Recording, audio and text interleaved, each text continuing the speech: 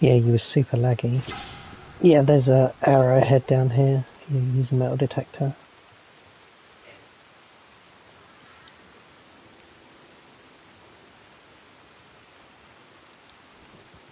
Yeah, I'm stood right by it.